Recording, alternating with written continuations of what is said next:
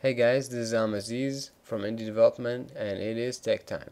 Uh, today I'm going to continue with uh, the older part of uh, machine problem number 7 which is Black, black uh, Jack and we're going to continue with the second part of it. We already have this code so we're going to go ahead and continue with it.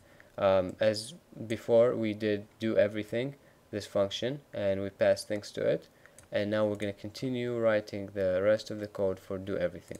So the next function is uh, we're gonna give cards to the players. So give cards right here, and we're gonna pass to it players names as usual, uh, and we're gonna pass to it values. So player values. So we're gonna give them how much they have. Uh, we can go ahead and do this function right under fill uh, dealer alphabetically just because of that and it's going to be a void function give cards. We're going to pass um, it's going to be the player's name is a string so string players names it's an array. Uh, we're also going to pass integer uh, players values also an array. There we go. Um, so we're going to copy this actually copy it and go all the way up to the prototype section and put it under fill dealer not under shuffle cards. Under fill dealer right here semicolon there it is. This is one of the prototypes now. Uh, let's go ahead and go back down and give cards. So now we're gonna give cards to the players. So in here int hand counter. So it's gonna count how much in the hand uh, out. Deal every one two cards. And we're gonna put two end lines. There it is. So in here we're gonna go ahead and do the loop for it. So for integer j. You can choose whatever letter you want but I'm gonna just choose j.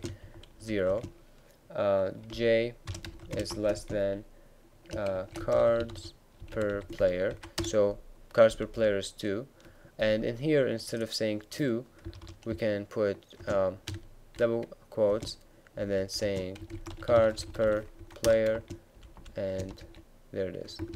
So deal everyone this X amount of cards which is like in here when you stand over it it will tell you that it's 2 right here. So it will say 2 cards. And right here we're going to continue uh, j++ obviously. And right inside this for loop we're gonna fill it with another for loop. Int i equals 0 i is less than players num so uh, players number. Uh, it's not showing me players. There it is. Players num right here. Uh, amount of players. So we're gonna display we're gonna do it for four uh, for seven players or however amount of what you set the players to be. So um, to fill the hand we need to do value or player value right here. Whatever player's value at position i so we start from 0 we end in 7 uh, one by one plus equals hand. The reason for plus equals because we give them two cards. If we just do equals they will be equal to the last card we give them. But if we do plus equals it will add the old card and the new card together. We're going to get from the hand, the hand of 52 cards that we did right here. Let me just split, the, split it right here and let me show you what I'm talking about right here. See that? Let me go down a little bit. See that? Card, uh, hand, and it's 52 cards. Let me go down a little bit. There it is. Uh, we're going to get from the card at position um, open this and hand counter plus plus and end it dot get face. So hand counter plus plus is because this hand counter right here is zero and we're gonna increment the hand counter but um, it's gonna increment right here. So what's gonna happen is the player value of position i so first player gets the hand at 0 so guess the first card that we shuffled. Guess the first card and then the hand counter goes to 2 so the next player would get the second uh, card. So so on to one two three four. So let me uh, run you uh, or let me show you on the word file right here.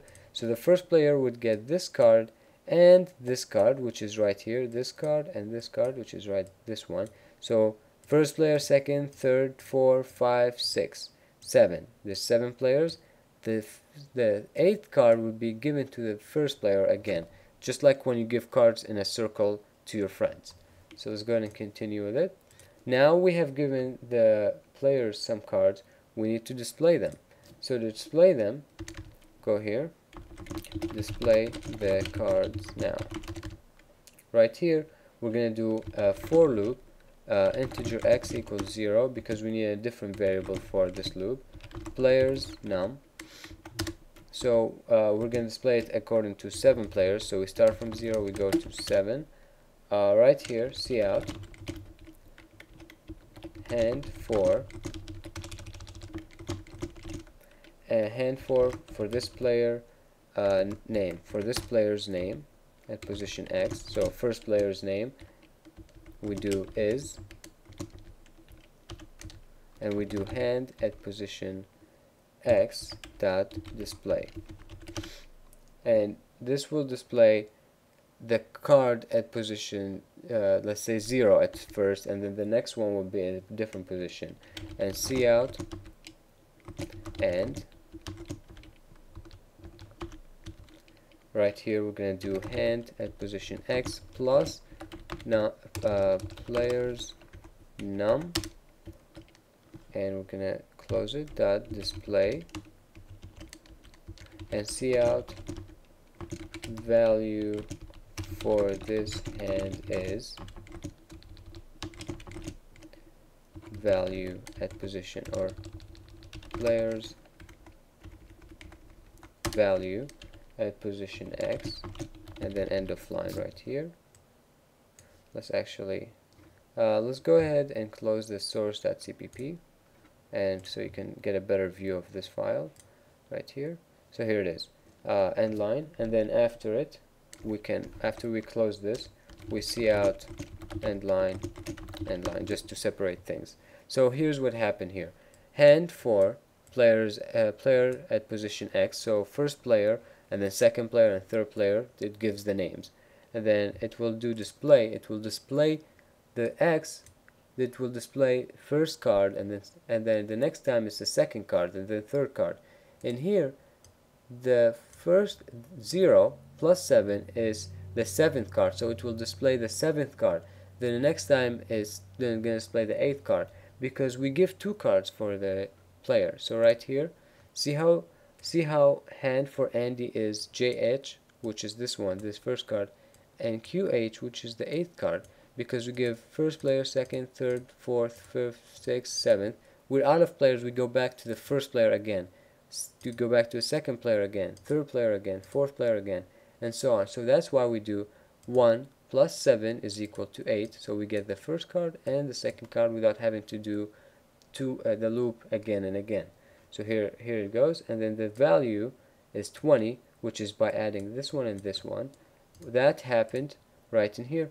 Here it is. Player's value is equal to hand and hand counter. That's how we got it and now we display it right here. So if this doesn't make sense still please go ahead and ask me on YouTube or indiedevelopment.co and I'll be more than happy to help you with it. Um, now that we are done with this function we can go back to do everything. And in do everything we need to do uh, two more functions. Reach limit. So this one we're going to call it reach limit we're going to pass to it. Players uh, names as usual. We, we always pass that to uh, functions just to know which player are we dealing with. Uh, player values we pass the values how much they have in their head and then um, players players hit. So we know when to stop. Uh, we're gonna go ahead and make this function right ab uh, right above the do everything and it will be let me see where I should be put it uh, alphabetically. Reach limit will be right under give cards. So here's give cards. There will be. It will be here uh, alphabetically. I, I just have to think of that and make sure that it's put in the right position before I do anything. So void reach limit string player names an array and we're gonna pass to it uh, integer players va values and sorry about that uh, int players hit. And close it open close brackets. So right here we got the reach limit function and before we do anything let's just go ahead and copy the header. Always do that if you know that you're done with the function or just do it when you're done. Uh, give cards right here semicolon. We just put the header and put a semicolon. That's it. It's as easy as that. Uh, reach limit. Now we are going to code the reach limit function. So integer. Um, so hit counter. We're going to make a counter for the hits is equal to player players num times 2 uh, it's just uh, so this one is so that we we we're gonna give 14 cards only to the players. That's why we need to know. Because if we have seven players we give them everyone is two cards that that means so in here instead of doing two uh, cards per player. So we do that so we're only gonna give them 14 so if we have seven players and we have two cards per player it means 14 so we don't have to actually calculate that manually. We can change whatever numbers we have and the, the program will run just fine. So and here if we have five players and we give each of them three cards then it will be 15 it will calculate it automatically. Uh, the next thing is integer x equals 0 this is for one of the loops. So let's go ahead and display here play the game. Who wants more cards? So that's all, what you always do. And to end lines. Right here for x is equal to 0 x is less than players num so only 7 players. Uh, and x plus plus. Here we go. Now we're gonna start coding the whole for loop and right here we're gonna go to value at uh, position x plus equal hand at hit counter dot get face. And cout player player uh, names at position x is getting another card so, though so I did this without explaining so because the the this statement would help you understand what is happening. Hand at position hand uh, or hit counter here it is um, dot display. So here we actually mistaked in the value uh, it's players values there it is. So the player value right here plus equal hand at hit counter dot get face. We we're gonna we're gonna the card value plus equal the hand at hit counter is gonna be the hit counter is at position 14 so after that we start taking um, that get face and players at player um, player name we're gonna display the name is getting another card and then we do a hand at hit counter. Uh, we're gonna display that uh, to to the to the console. So right here. Here after we displayed the hit limit we will deal two cards to everybody. And here it is. Here's what I'm talking about. Player who, who wants uh, more cards? So value of hand for Andy is now this we're going to display how much do they actually have. A player uh, if they if they have less we're going to give them more. If they don't then we deal with it that way. So um, in here cout end line. And uh, hit counter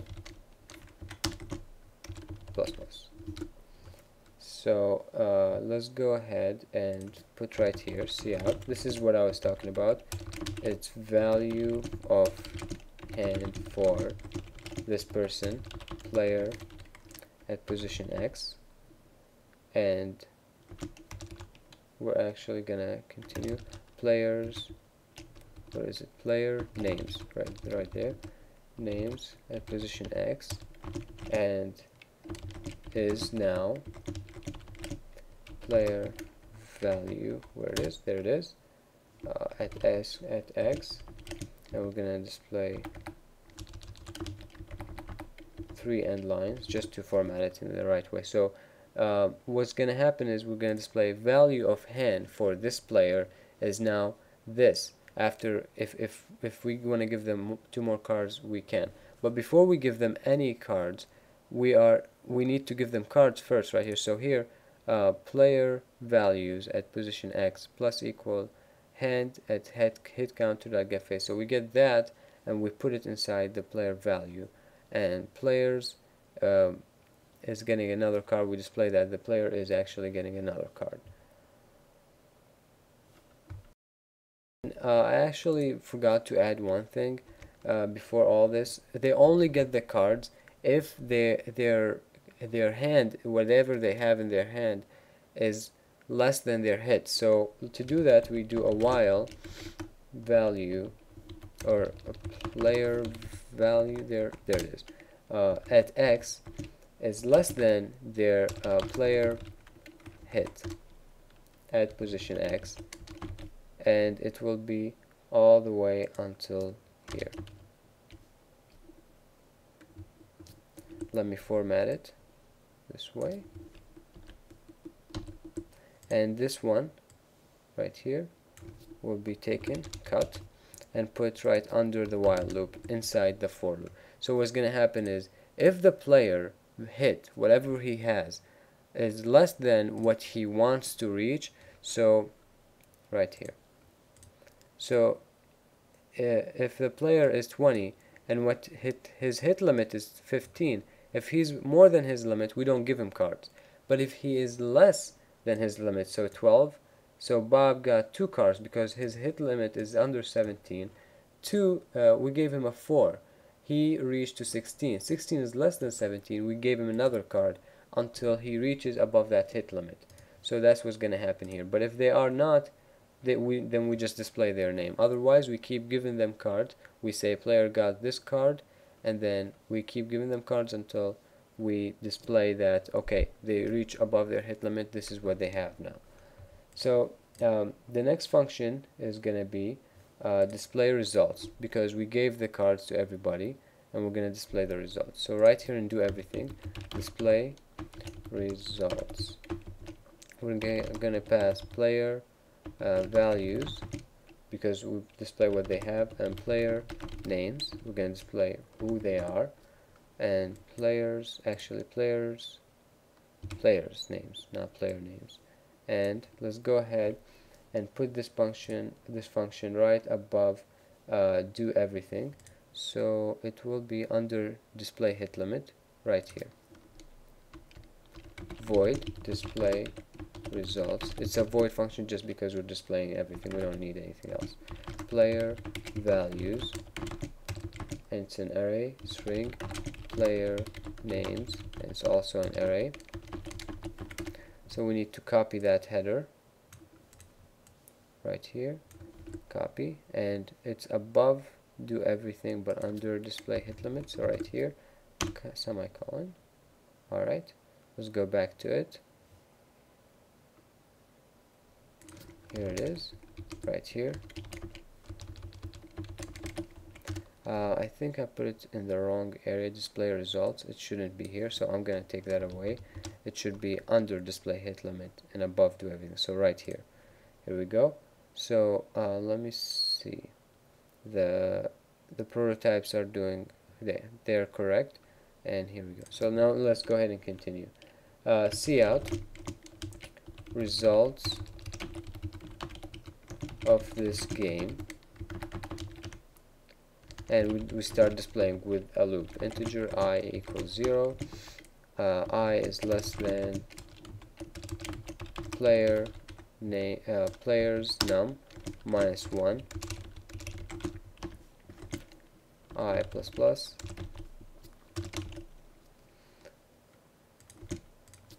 We're gonna go ahead and go inside here. In the for loop so for um, va value players. There it is players value. At player players um, num minus 1 is e uh, actually actually uh, we're gonna go ahead and delete this because let me just think for a second and see what I need to do with this um, and under this for for loop so yeah we, we're, we're in the right spot. Uh, so end this and equal equal to uh, game limit. And actually not not game limit um, players value. This this is this is the in the wrong area actually uh, this is going to be an if statement not a for loop. So value uh, if players value uh, apologize about that. It just programming needs a lot of thinking and uh, I had to stop and think about this one. Uh, so players num minus 1 uh, equal equal to game limit. See out the dealer beats player and we're gonna display player names at position X and I'll explain why. We need to have another loop right here so for um, integer x equals 0 x is less than players num and minus 1 x plus plus and put it semicolon here. There it is. So here's what happened right here. We do minus 1 because we're not going to display the the the dealer. And right here player values uh, player player num which is the 7 minus 1 so if if the dealer is equal equal to 21 if he has 21 then he beats everybody. Nobody can win above him. So we just display the dealer beats this this this this and so on. Um, otherwise uh, in here we're going to do another if if value at player or actually we're not going to do um, actually yeah value at position i. And under it we're going to do an else. Not here not yet.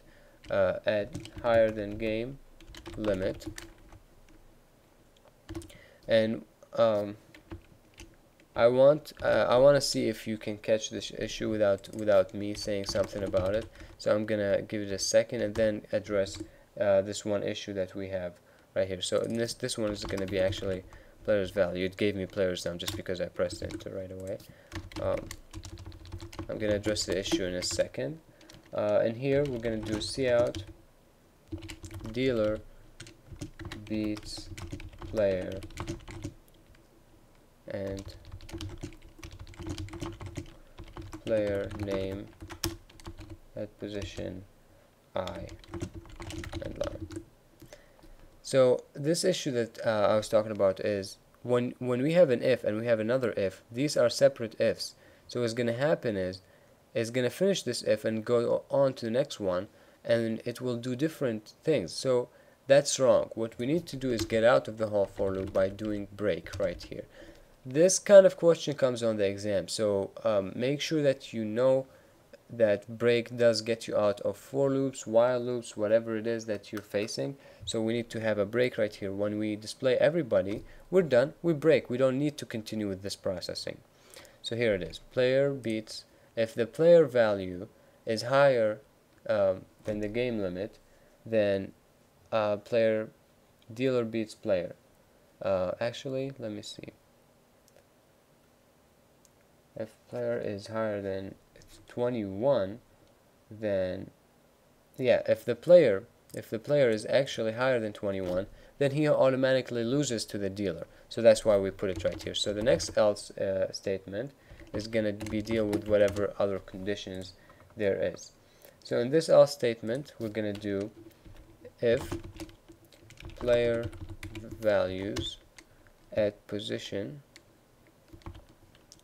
uh, player num minus 1 so if the dealer is less than or equal to game limit which is 21 if he is the if the dealer is, less than uh, 21 then inside what what's going to happen is we're going to say if va uh, player values uh, for the player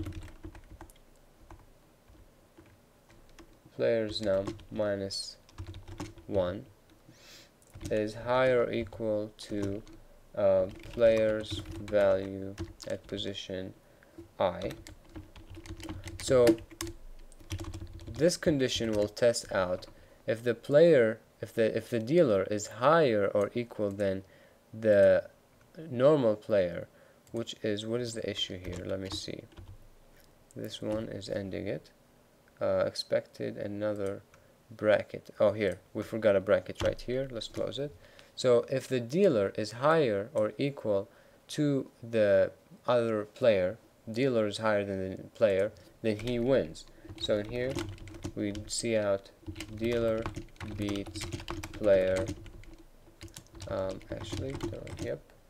And then we display a player names at position i. So if he is higher or equal then he wins. Else um, otherwise then the player is higher than uh, the dealer and he's less than 21 then he wins. That's the only way that the player can win. So player player names at position i beats the dealer. And let's put an end line right here.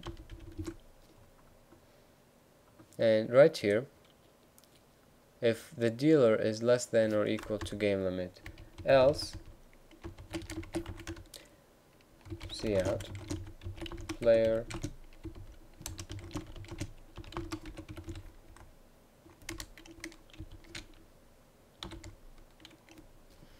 let me see didn't we already deal with this? Um, higher than game limit. Player dates uh, if player is less than or equal. Um, this one just just a safe condition just in case uh, beats the dealer. We don't necessarily need it this one because we already test out like player values at uh, position height like if uh, actually this one this one is testing the player so it's not testing the the player value. So it's not testing the dealer. The player value, player num at minus 1 is the dealer. So if the dealer is less than or equal to 21, then we go on to test the condition if he wins or not. But if he is above 21, then he automatically loses to the player. So let's go ahead and put a cout end line right here at the end of it all. End line. Alright. Now let's go ahead and run the code and see what happens. No. Let's see what the issues are in, in this uh, function. So let's see.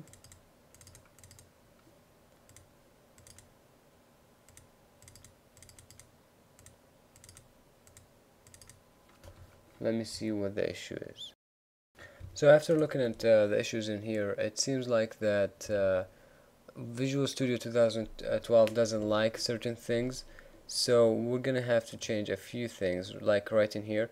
We're gonna copy everything. So uh, I'm gonna just zoom out a little bit um, even more actually because we already wrote these uh, codes and we don't need to write them again. So you can just select everything in uh, card functions right here and until the end and cut it then we can delete uh, card functions like that remove and um, instead of remove just delete permanently and double click on card.h and under it just paste everything. Um, I used to do it this way and I do it this way generally. I just wanted to do it a different way because uh, that's how you do it in class but this is also a good way just because you see the functions right here you see the variables right here it's easier for you. So we can go ahead and do that that's not a big deal. Just because Visual Studio 2012 doesn't like it. So we can keep that this way. Uh, just like like I said just cop, uh, cut and paste everything right under the class. Uh, we can go ahead and close it. Uh, a few a few issues right in here that we missed and I'm gonna zoom out just a tiny bit. There we go. Um, we had an issue with if let me see where it is.